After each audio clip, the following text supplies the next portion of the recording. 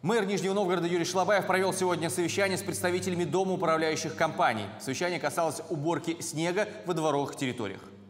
Ну, ни для кого не секрет, что у нас основные жалобы, конечно, жителей с тем, с чем они сталкиваются. Вот они выходят из домов, сталкиваются со снегом, да, со льдом. Соответственно, идут жалобы. Они высказывают недовольство. При этом жалоб на муниципальные проезжие части стало значительно меньше в связи с нормальной организацией работы. Хочется такую же увидеть и у ДУКов.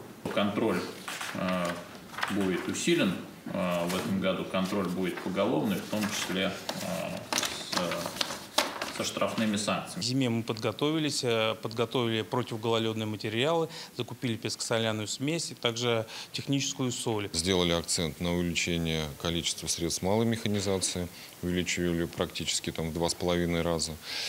И э, это позволит заменить труд ручников. К проверкам готовы. Э, Ежедневным, э, вот по результатам совещания договорились, что ежедневные будут фотоотчеты, к этому мы тоже готовы. Каждый день наш персонал эти отчеты будет производить и предоставлять по мере необходимости.